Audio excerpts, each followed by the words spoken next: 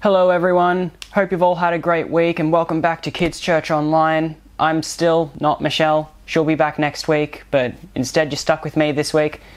Um, hopefully, you've all had a good chance to get outside. We've had some good weather the last few days, so hopefully, you've been able to take advantage of that and not just be stuck inside like we have been for the last few months, I guess.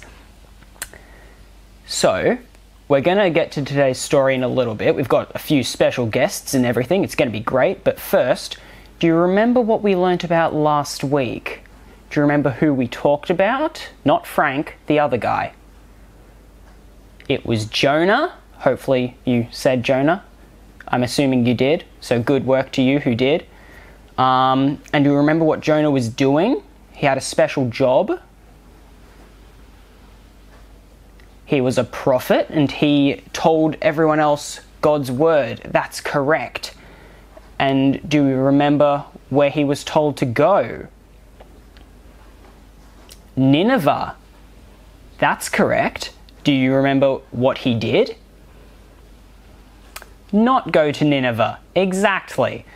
He instead went the opposite direction onto a sailor's ship towards Tarshish. But God sent a massive storm to Jonah, if, I, if you remember. And, you know, after some naps, the fool, uh, he admitted he was the reason for the storm, and he was thrown off the ship so that it would so it would calm the storm.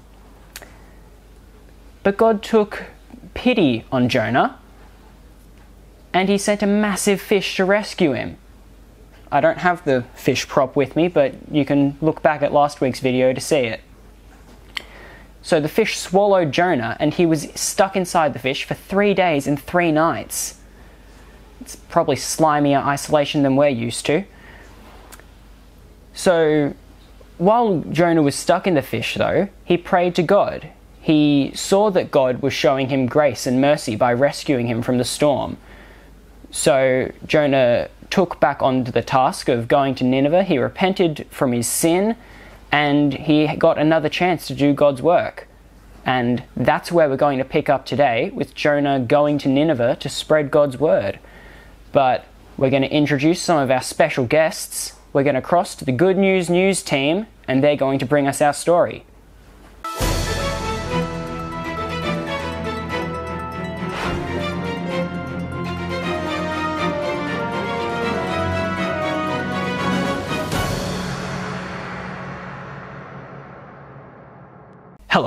Welcome to Good News News. I'm definitely not Alex, and I will be your host for this afternoon's coverage of the Jonah story.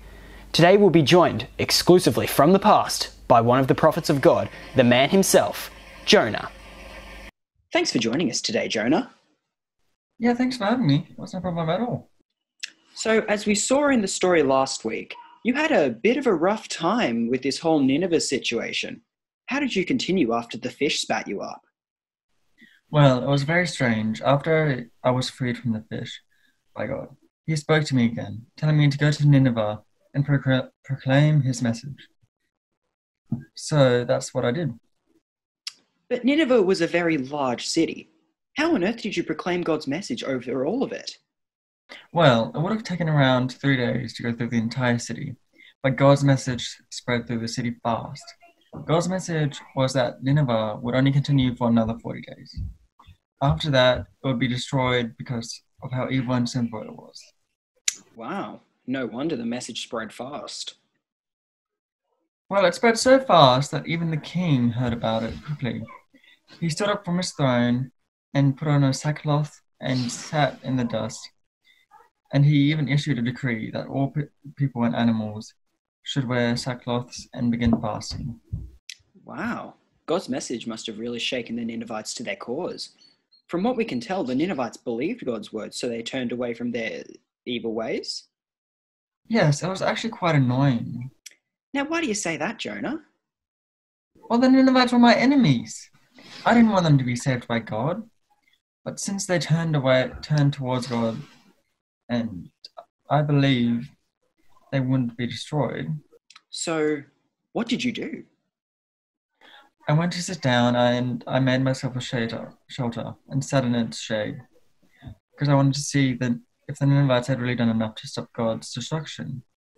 God even provided a leafy plant to give me more shade. Oh, well, that must have been nice at least. Oh, it was until a worm came up and ate it.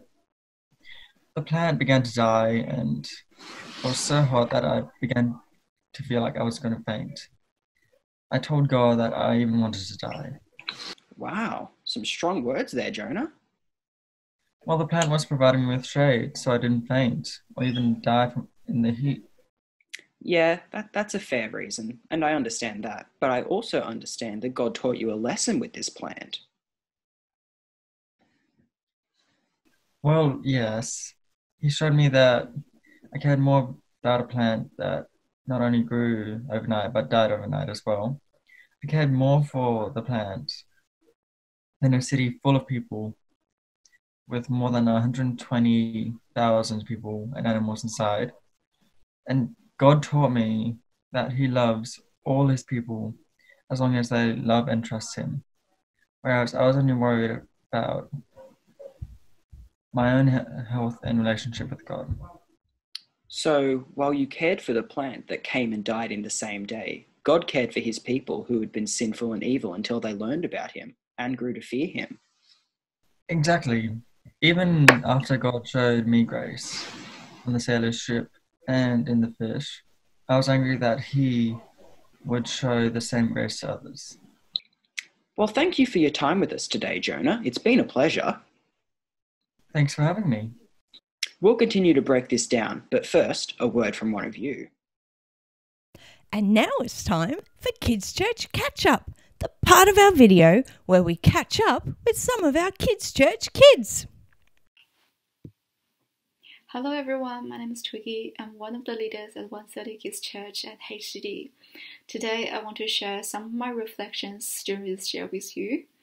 I think during lockdown, I have learned that how weak I am and how easily I can be discontent when things have been constantly changing, such as when I couldn't meet up with my friends as often as I used to, or when I couldn't plan things ahead because no one knows what's happening next week or sometimes even tomorrow.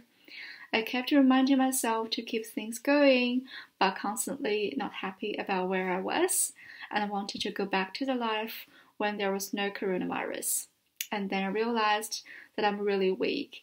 And even I tried to become strong, but not without fully relying on God and trusting His plan for us, discontentment is really hard to avoid. So I pray every day to ask God to open up my eyes and heart to see the wondrous deeds He's been doing in my life and to learn contentment because God never changes. And also during this year, I have seen God working among my non Christian colleagues to help them think more often about where to find peace and who's in charge of this world. And um, this actually gives me more opportunities to share my faith in Jesus with them. And also, I've seen how God keeps us close close to Him by using different circumstances, sometimes even difficult circumstances as well, um, to remind us that He's a big God but cares about us little humans, which is such comfort for us to um, yeah live in this year. And I think when restrictions ease, the first thing um, I would do would be like hanging out with my friends, having dinner with them, and going to church. Um, I missed everyone in church and couldn't yeah, can't wait to see everyone in person when church reopens. So, yeah, hopefully we can see each other again soon. Bye. Thanks, Twiggy. Great to see you. Now, as we learnt from Jonah and definitely not Alex, great guy, um, God showed the Ninevites grace when they turned away from their sin and towards Him when they repented. Even after all of the sin that they'd committed, they, God still showed them grace. Now, this is actually a very similar situation that we face. We sin all the time in regards to our relationship with God. We don't always treat Him with love and respect. And we don't deserve that grace that God shows us, just like the Ninevites and Jonah didn't deserve the grace shown to them. But God still cares for us, and He still loves us despite how poorly we sometimes treat Him. That's why He sent Jesus, so we could have a way back to Him so we need to remember that we should say sorry to God when we, t- when we sin, and that we need to turn back to Him by believing in Jesus. God cares about all His people, and He wants them to be saved. If we've been saved by Jesus, we should be very excited that we can be in relation with God, and we should try and share this message and our excitement with everyone around us, even to people that sometimes annoy us. Just like Jonah did. The Ninevites were his enemies, but he still shared God's message with them, even though he didn't really want to. We can learn from Jonah that God shows his people grace, even when they don't deserve it, and they can have a way back to God through repentance and us through Jesus. Let's pray about this now. Hey everyone, hope you're doing well and that you're not too bored being at home all the time and that you've been enjoying our little series in Jonah. I think a lot of the time when we hear about Jonah, we don't often think that he's really a great example of a prophet compared to some of the others in the Bible. But I think that Jonah can remind us of ourselves in that um, he was quite scared to follow God's plan and didn't really want um, many non Christians to be saved. And I know that I think that I um, deserve to be saved more than my non Christian friends sometimes. But in the end, we are all sinners, and none of us really deserve the salvation that we receive. And it's all thanks to Jesus that we have that. So, why don't we spend some time talking to God about that now? Dear God, thank you for your love for all people and the mercy that you show to us. Thank you for sending Jesus to save us and that everyone has a chance to turn back to you and be forgiven. Sorry for the times that we think we deserve your salvation more than others and then we don't share your gospel news with them. Please help us to be humble and to trust you and help us to be brave and willing to share your word with others. Amen. Well, now it's time for our memory verse. I hope you guys have been practicing this last week, but if you haven't, I'll I'll say it for you guys so you can have some memories come flooding back to you. Here is our memory verse. You are a gracious and compassionate God, slow to anger and abounding in love. That's Jonah chapter 4, verse 2. That's from today's story. So, how, how about you guys say it with me this time? You are a gracious and compassionate God, slow to anger and abounding in love.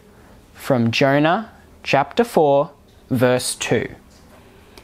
We'll have a different memory verse in the next few weeks, so this is the end of that one, but that doesn't mean you get to forget it. Keep practicing in this next week and, you know, tell your parents, tell your friends, um, know, tell your stuffed animals, tell everyone. It's a good message. But now, it's craft time. So for craft today, this is everything you're going to need. Only two crafts this week, not three like last week, so it should be fine. We are going to start off with the page that's got the leaf on it. This is craft number one, and you can get two crafts from a single page. So if you've got a brother or a sister and you both want to do this craft, you can both, you only need to print one page. If you've got more siblings, you might need to print more, but there are two crafts to one page. So we're going to start off, we're going to cut the page in half. I've already done that, so it would be bigger, but we've already done that. And then the next step is you can see there is a line to fold. We are going to fold first because we are making a double-sided leaf. So we're just going to fold nice and carefully.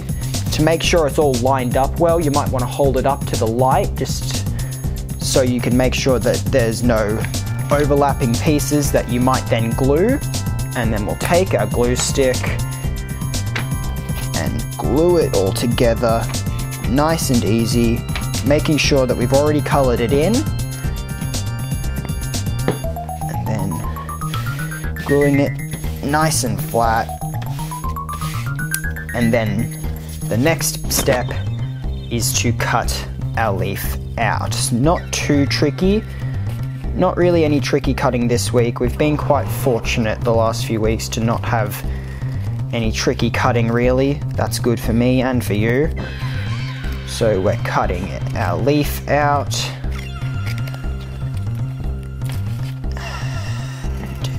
super, super easy. If you're still a little bit younger though, you might still want to get some help from an older sibling or even a parent if they've finished with church. Being super careful with the bottom because it's super thin and we don't want it to rip. Done. So there's what our leaf should look like. It's got our memory verse on the back. It's a little different from our actual memory verse, but it's the same verse, so that's good. You can remind people of that. And then the next part is we are going to make a little worm like the one that ate Jonah's vine. So for that, you're gonna need your peg, like last week, and some pom-poms, and some googly eyes. If you don't have googly eyes, that's okay. You can draw eyes on with a marker. We found some though, so we're gonna use this. And you're gonna need PVA glue to put the pom-poms down. Regular, a regular glue stick will not stick these.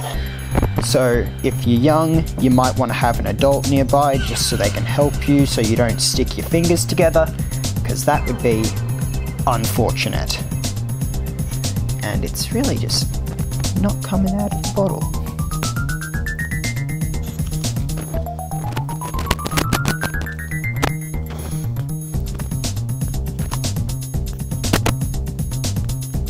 Success.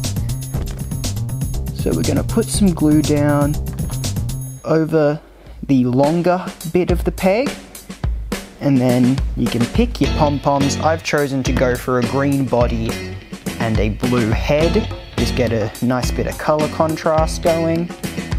And I can fit about four small pom-poms onto the back and then there's enough room for the head as well. But depending on your pom-pom size, you might be able to get more or less. So we're gonna just put the head on and then we'll put the eyes on after.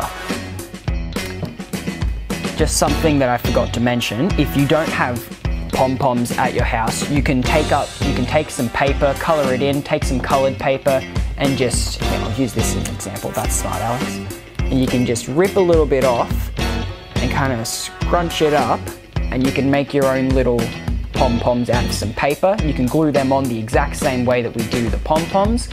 We were lucky enough to have some pom-poms, but if you don't, you can totally use paper. So again, we're gonna use our PVA glue to get our googly eyes on. Again, if you don't have googly eyes, you can draw some on with a texter. Gonna be super careful so he doesn't look like he's going insane, because this worm knows what he's doing. Got our first one on there, being super careful we don't knock the pom-pom off the peg, because PVA glue takes a little bit to dry, so it won't be completely set as soon as you put it on, not like the glue stick. Put a second eye on, and there is your caterpillar. You can name and make your caterpillar however you want. I'm not going to name mine for copyright purposes. And then you can just open your peg up and put it on the leaf, and there's your craft. And if you want to make it look like the worm has had a little bit of the leaf that he's eaten, you can take a few pieces of the leaf off to make it look like he's had a little bit of a snack on the leaf. That is craft number one. For craft number two, it's similar to our craft last week where we made a whale out of the cup, but instead we are going to plant, I dropped it, a bean seed. So you're gonna want your cup, you're gonna want to fill it with some dirt, and you're just gonna wanna dig a little bit down, a couple centimeters, plop your seed in, cover him over, and then make sure you've not got dirt on your hands. Then our actual craft is a page that looks like this. I've already cut one out, and he looks like this. And we're going to wrap it around the cup. Now I've got a plastic cup, so glue's not really going to work. So we are going to use Old Mate sticky tape. So take some sticky tape, put it onto the side of the paper where it does have our glue markings, but glue's not gonna work. And we'll just tape him on. And it's okay if it doesn't wrap around completely because you're gonna wanna be able to see some of the dirt anyway. And you can see it doesn't wrap around fully anyway. So that's okay, we'll get another bit of sticky tape, position him nicely, and then just tape him. And you can tell our Jonah story with this cup. You can see that while Jonah waited to see if God would punish his enemies, God was kind to Jonah and gave him a vine for shade. But when a worm ate the vine, Jonah was angry with God for destroying his shade and not destroying his enemies. So you can tell this week's story with this cup, and you're gonna want to just water your bean. Um, you don't want to give it too much because you don't want your bean to drown. Um, and just put it in a sunny spot. A parent can help you with this, and we'll update you if it grows. We're really hoping it's going to grow.